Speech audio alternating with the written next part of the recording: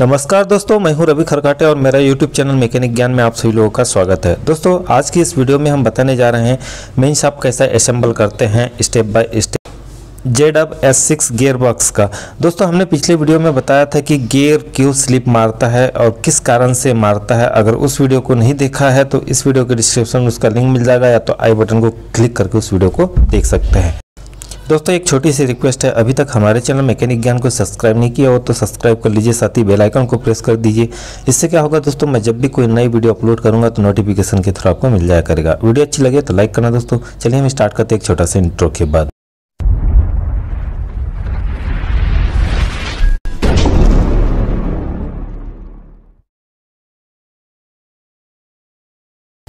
तो देख सकते हैं दोस्तों, ये है मेन शाफ्ट और इस मेन शाफ्ट को दोस्तों हम बैक साइड से पहले कंप्लीट करना स्टार्ट करेंगे। तो दोस्तों, सबसे पहले हमें दो नंबर गियर का रोलर बेरिंग फिट करना है। दोस्तों रोलर बेयरिंग फिटिंग करने से पहले आप रोलर बेयरिंग को गेयर ऑयल से भिगा ले और भिगाने के बाद में आप डायरेक्ट मेन शाफ्ट में फिटिंग कर दें। उसके बाद दोस्तों, हमें दो नंबर गियर फिट करना है। तो दोस्तों इस वीडियो को लास्ट तक देखना और ध्यान से देखना, आप मेन सब फिटिंग करना सीख जाओगे और कौन से पार्ट का क्या नाम है, इस वीडियो में हम सारा डिस्कस करेंगे। तो दोस्तों, उसके बाद में हमें दो नंबर गियर फिटिंग करने के बाद में ये है सैंक्रोकोन सैंक्रोकोन को फिटिंग करना है, उसके बाद में हमें सैंक्रो रिंग को फिटिंग करना है। ठीक है? चलिए, अब दोस्तों हमें गियर हब को फिट करना है, जो कि एक नंबर और दो नंबर गियर का हब है। दोस्तों गियर हब फिटिंग करने के लिए सबसे पहले तो मेन शाफ्ट का जो मीनिंग होता है, उससे मैच करना है। और मैच करने के बाद में हल्का हल्का इसे हैमर की चोट मारना है। और उसके बाद में आपको नीचे वाला जो सैंकरो है, उसका कॉलर मिलाना है और उसके बाद में प्रेस कर देना है, ठीक है? उसके बाद दोस्तों, एक नंबर गियर और दो नंबर गियर का स्लू फिट करना है। और स्लू फिट करने के बाद में हमें सैंक्रो किट फिटिंग करना है। एक नंबर, दो नंबर गियर में सैंक्रो किट में सिर्फ़ एक बॉल पिन और एक स्प्रिंग लगता है, जो कि तीन जगह पे लगता है, तीन तीन छः ये दोनों को फिट करना है, उसके स्लू को दबा देना है। तो देख सकते हैं दोस्तों सैंक्रो फिटिंग करना कितना आसान है। सिर्फ़ हल्का सा स्प्रिंग का गाला मिलाना है, बॉल पिन का, और उसको हल्का सा हाथ से प्रेस कर देना है, एकदम आसानी से फिटिंग हो जाएगा। अब दोस्तों, हमें फिर से एक सैंक्रो रिंग फिट करना है।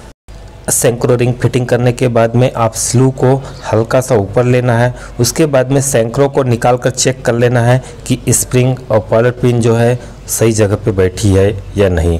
ठीक। इसके बाद दोस्तों हमें एक नंबर गियर फिट करना है, जो कि सैंक्रो कोन गियर में ही लगा होता है, वो गियर के साथ में ही अटैच होता है, वो अलग से नहीं आता है। दोस्तों उससे पहले हमें एक मेन शॉप का लॉक फिटिंग करना होगा, जो कि इसे सर्क्लिप कहा जाता है।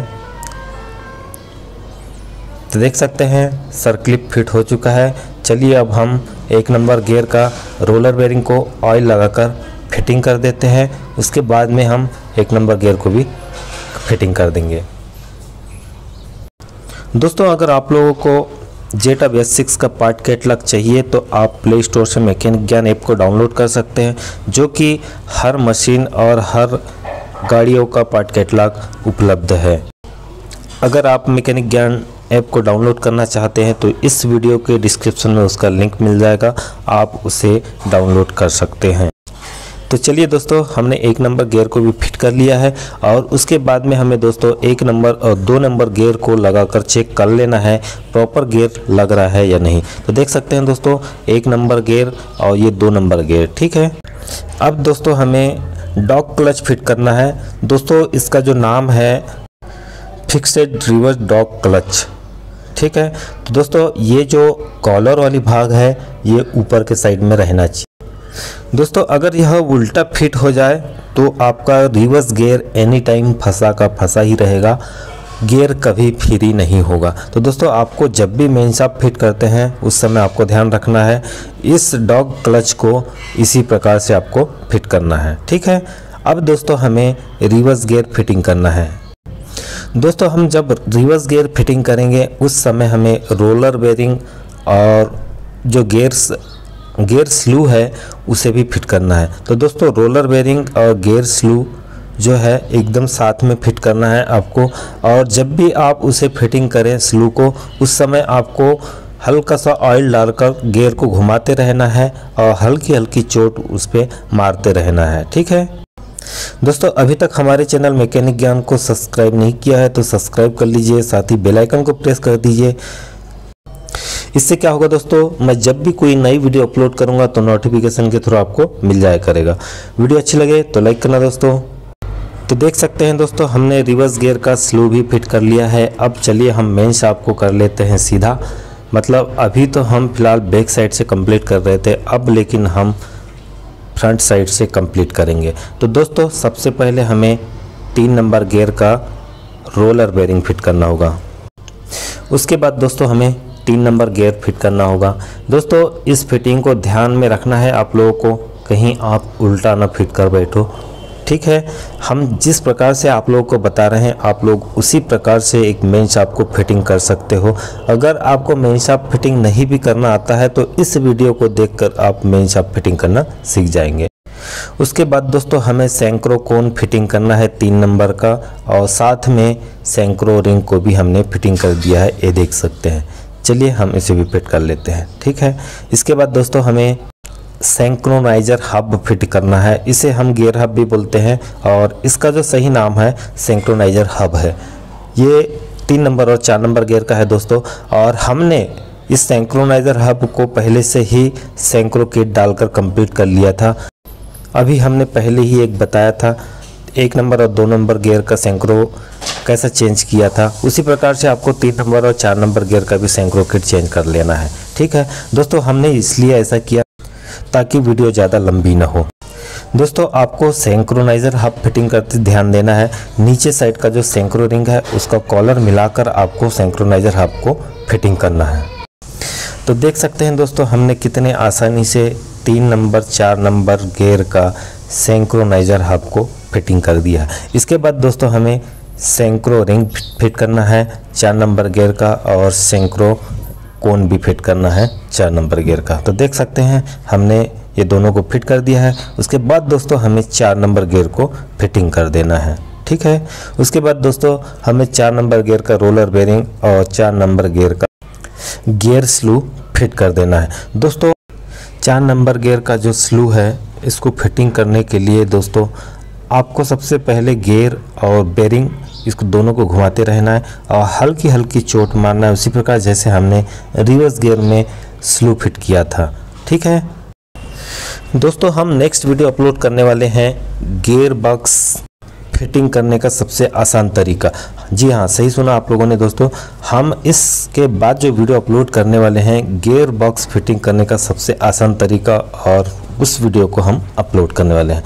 तो दोस्तों, देख सकते हैं, हमने चार नंबर गियर का स्लो भी फिट कर लिया और उसके बाद में दोस्तों, हमें लॉक फिट करना है, मेन शॉप का लॉक, जिसे हम मेन शॉप सर क्लिप कहते हैं। तो देख देख सकते हैं दोस्तों, हमने मेन सब सर्किल को भी फिट कर दिया है। उसके बाद दोस्तों हम गियर लगाकर चेक कर लेते हैं। तो सबसे पहले दोस्तों हम लगाते हैं तीन नंबर गियर को और तीन नंबर गियर लगाने के बाद हम चेक कर लेते हैं। देख सकते हैं दोस्तों, तीन नंबर गियर लग चुका है। अब चलिए न्यूट्रल करके हम चार नंबर गियर को भी लगाकर चेक कर लेते हैं। तो देख सकते हैं दोस्तों, कितने इजी तरीके से गियर लग रहे हैं। दोस्तों, आपको मेन सब फिटिंग करते समय ध्यान रखना है। जैसे ही आपका गियर फिटिंग हो जाता है तो आप तुरंत उसे चेक कर लिया करना गियर प्रॉपर लग रहा है या नहीं। उसके बाद दोस्तों हमें पाँच नंबर गियर का रोलर बेरिंग और गियर को फिट करना है और उसे भी हल्का सा गियर ऑयल डालकर अच्छे से फ्री कर लेना है। उसके बाद दोस्तों हमें पाँच और छः नंबर गियर का सेंक्रो किट तो दोस्तों मेन साफ्ट में जो हमने सेंक्रो रिंग और सेंक्रो कोन को फिट किया है, उसे हम निकाल लेते हैं और उसके बाद में हम सेंक्रोनाइजर हब को फिट कर देंगे। ठीक है? ये दोस्तों पाँच नंबर और छः नंबर का सेंक्रोनाइजर हब है।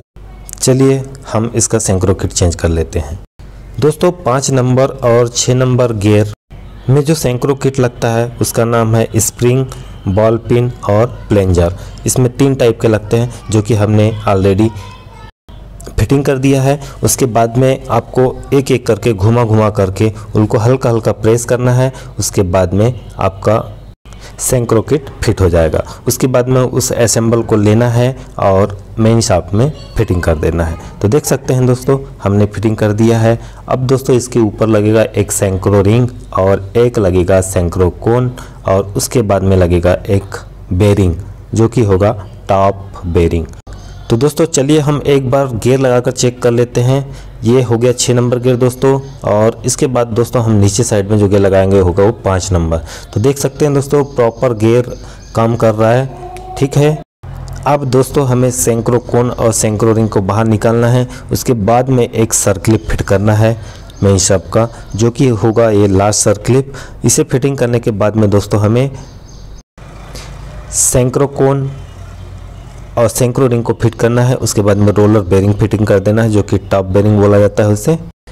तो दोस्तों, मुझे उम्मीद है कि आप लोगों को ये वीडियो बहुत पसंद आया होगा। अगर दोस्तों पसंद आया होगा तो एक लाइक ज़रूर करना और अभी तक हमारे चैनल को सब्सक्राइब नहीं किया हो तो सब्सक्राइब कर लें और साथ ही बेलाइकन को प्रेस कर देना। हम नेक्स्ट वीडियो अपलोड करने वाले हैं गेयर बॉक्स फिटिंग करने का सबसे इजी तरीका। तो दोस्तों, यह वीडियो कैसा लगा हमें कमेंट बॉक्स में लिखकर बताएँ। और वीडियो अच्छी लगी हो दोस्तों तो लाइक करना और अपने दोस्तों के साथ में शेयर करना मत भूल